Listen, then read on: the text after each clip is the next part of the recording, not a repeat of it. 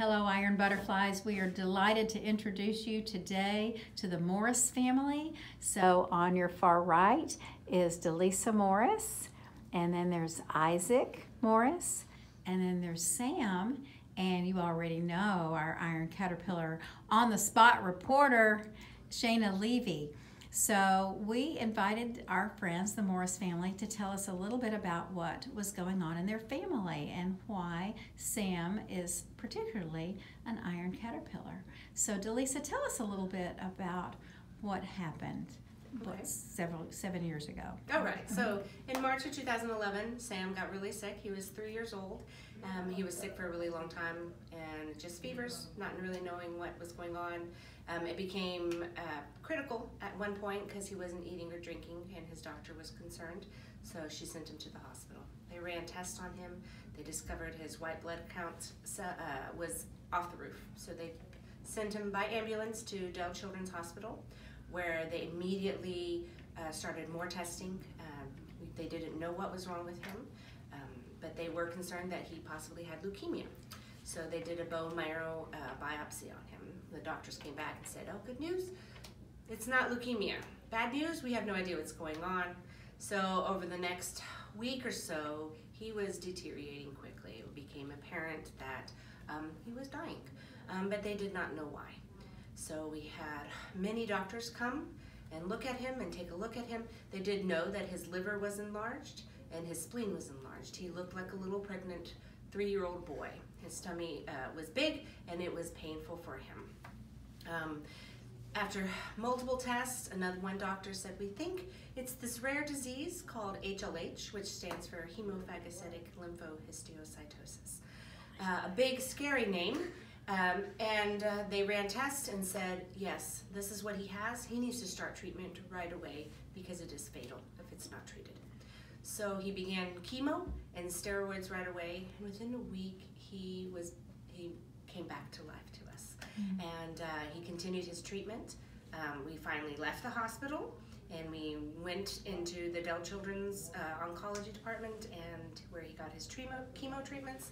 And uh, after about an eight weeks, he was fine.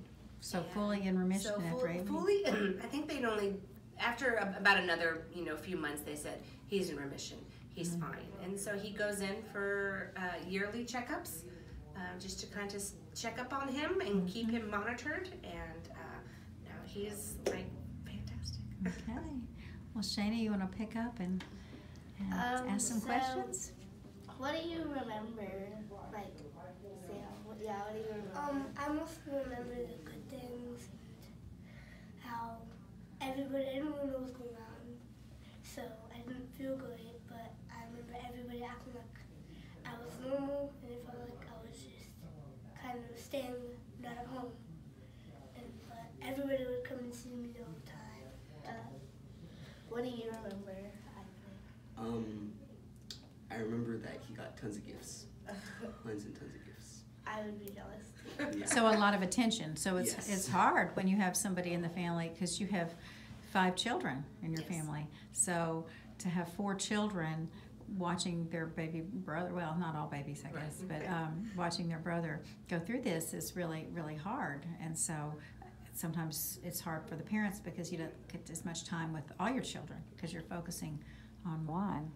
So do you think that this because this happened so many years ago, do you think it still affects your life today? No, not really. I mean, my life is pretty normal.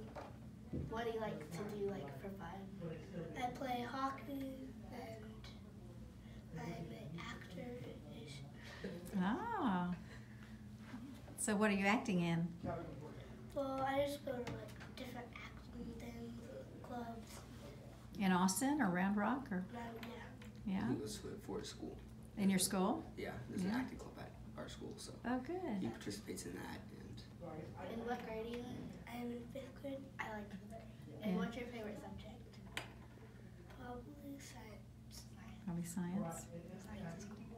So you come from a large family, I do. Lisa. And so how did your family uh, come together? I'm sure that they were very supportive and Yes, yes, it was, We're all here in Austin and um, my mom took my two older kids who were still in school, and so she came home. She came uh, to live with them while they were at school, and then I had a younger daughter who was about a year and a half, and she went with my sister who was staying at home with her children at the time. Mm-hmm. So she took her, and so it was it was a huge blessing because that weight of I knew my kids were being taken care of, and I could focus on Sam. You know, I knew that they were being fed, they were being loved, they were being taken care of. They would come and visit Sam every once in a while, um, but I didn't have to worry about them. So having family around was was just a huge blessing for us. Were there any other any other blessings that happened along the way? Any interesting people that you met or anything you learned? there were huge blessings everywhere. Really, so not only my family, my sisters, my mom, um, everybody came together, but also our church community. Um, we, my husband and I, kind of really started getting involved in church, and it was just like the hands of God were just around us, and um, we could feel like you know, in a time when you kind of can feel alone and abandoned.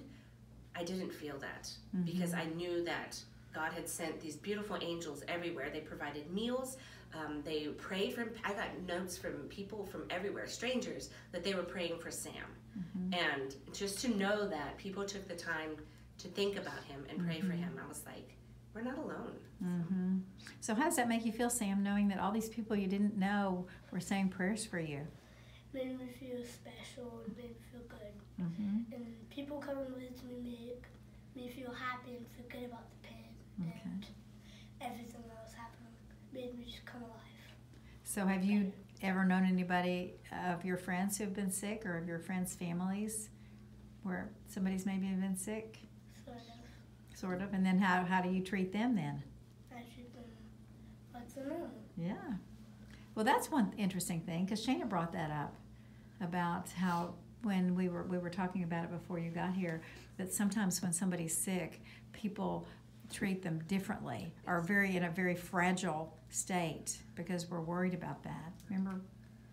Were you thinking about? I hate it when people just speak to you like you're less just because you're younger or you're sick. So, what would you say to someone that was going through like the same sort of thing as you? I'd probably just act normal and say nice things, uh, but really not try to like, mind them about it. Mm-hmm. and just kind of try to shift them away from their sadness or pain and drive them to somewhere better. Mhm. Something better. So keep them keep them focused on some other things so that it gets their minds off what's their, what they're going through. Yeah. Well, this has been wonderful. Thank you so much. Is there anything that you would want to give advice to parents of children going through difficult times? Um, I think just, I don't know.